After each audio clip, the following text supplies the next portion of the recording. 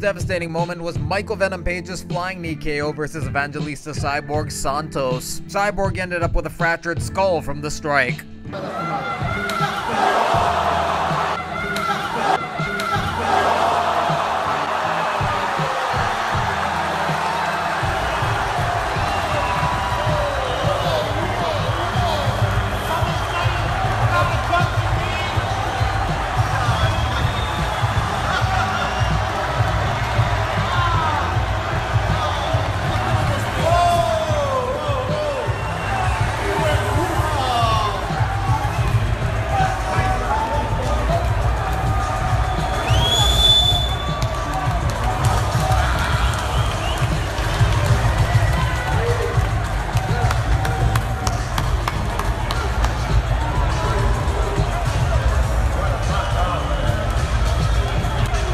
Michael Page says, I'd like to express my best wishes to Cyborg and his family as he's currently being held in hospital for a fractured skull and will be undergoing surgery. Please may I ask that you join me in donating towards his GoFundMe page. Link to the GoFundMe page in the description of this video. Cyborg, who used to be married to Cyborg, had some kind words for Cyborg. Fight fans, please say a prayer for my ex-husband Cyborg Santos. Many of you watched him fight on Spike TV this weekend when he suffered this injury while fighting in London. Cyborg is still in the hospital in the UK, and they're not sure when when he'll be able to fly again. He hasn't had surgery yet, and there's worry the brain can continue to swell, causing more damage. Click the link in my bio to donate to his GoFundMe and support him and his family at this time. Thank you, God, for your protection. The doctor said this very easily could have been life-threatening. Please show your support for the fighters and share. Joe Rogan says this is the worst MMA injury I've ever seen. Best wishes and a speedy recovery to Cyborg. Santos is 38 years old and has been fighting since 1997, which is half of his life. Michael Page is 11 0 in MMA. 10 of those wins are by stoppage, 9 of them in the first round. Fans want to see him take a step up in competition and compete in the UFC, but Page is happy in Bellator, and Bellator is happy with his highly entertaining style of fighting. And the current trend is fighters not going from Bellator to the UFC, but the other way around, with fighters like Benson Henderson and Matt Mitrione migrating from the UFC to Bellator. How you feeling? Living the dream.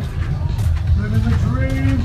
And with Rory MacDonald being a free agent, Bellator is also trying to bring him into the fold. Bellator's next big show features Ben Henderson versus Patricio Pitbull on August 26. The UFC's next show on Saturday will include the return of Gilbert Melendez after a year suspension for using PEDs as he takes on Edson Barboza. Some interesting MMA clips which emerged over the weekend. Raufeon Stots after winning in Victory Fighting Championships.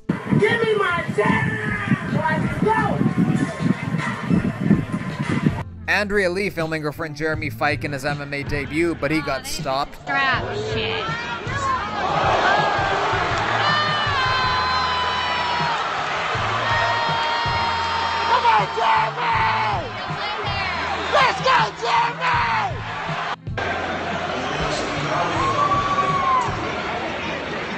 Well, the first round was really, really good. But he let that go for a little, a lot longer than he normally does. Normally he stops the fights a lot sooner than that for amateur. So, but he did good. He really did. But he did good. Jeremy just froze up. Yeah. Yeah. Thiago Tavares posts this image of John Lineker after his KO over Michael McDonald. 46% of Lineker's wins are by KO or TKO. And Frank Mir punching Criss Angel. I hit him as hard as I can without breaking my hand. I hit him as hard as I can without breaking my hand.